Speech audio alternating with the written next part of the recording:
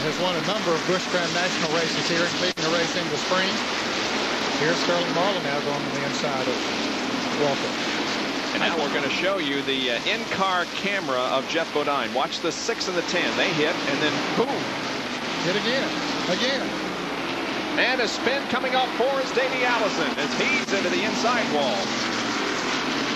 The Havoline Ford is against the inside wall, and the yellow flag is out for the eighth time this afternoon. And it's a break for a lot of drivers that were about to go a lap down. I mentioned a moment ago if this thing stayed green for 40 or 50 laps, Harry Gant was going to put a lot of people a lap down. He was about to put Ricky Rudd two laps down. Here's a replay of how Davey Allison spun off four. He's coming off the corner on the inside of Darrell Waltrip. That's Darrell in the Western Auto Chevrolet. And all of a sudden, did you see Oh. Davis' car? It like hit a bump or something. It's like there was oil there or something. And Darrell did a nice job of saving it because he was almost as sideways as Davey was. I didn't. Oh, I see. There is some contact between the two Yeah. cars right there. I didn't see that the first time by. Davey sliding to the inside and just barely touching the wall. And now we have a lot of pit activity here on the front stretch. And uh, Jerry Punch is in Harry Gant's pit. Well, Charlie Presley, Andy Petree, and the rest of the Skoal crew have already changed right side tires. Rusty on the bottom of your screen, you see the Miller crew working on the Miller genuine draft car. They changed left side tires on Rusty. Left side tires are already on here again. Rusty still in the air as Gant now moves down pit road at 35 miles an hour. Rusty is down and away. Good pit work here by the Skoal crew. Rusty Wallace comes out, and now let's go to the backstretch pits and John Kernan, who's there with Jimmy Hensley.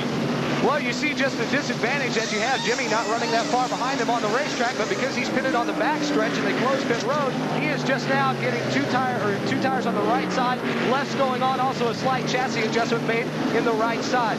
Now, something that may have been a contributing factor in Davey Allison's spin.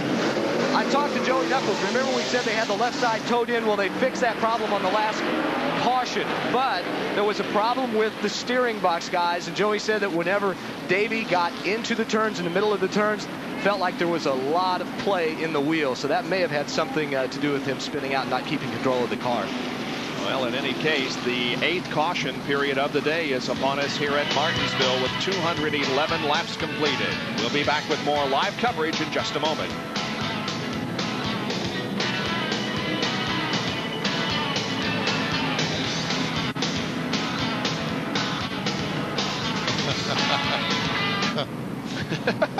Uh, oh, thank you.